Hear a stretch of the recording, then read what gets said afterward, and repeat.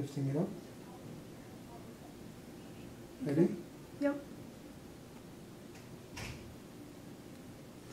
So uh, this with this technique, the patient is sitting, and my nurse is using her hand as a tourniquet, and I foam the polidocanol one percent, and the foaming increases the surface area. And because she has big veins, I'm going to do this in increments. We're going to space it out about two weeks to minimize any kind of potential embolus issues.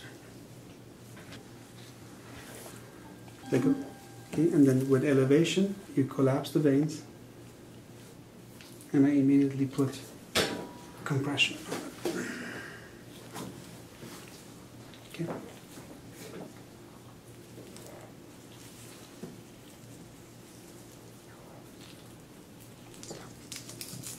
And if this it causes a lot of um, tingling, it's too tight, just Uh-huh. loosen up a little bit.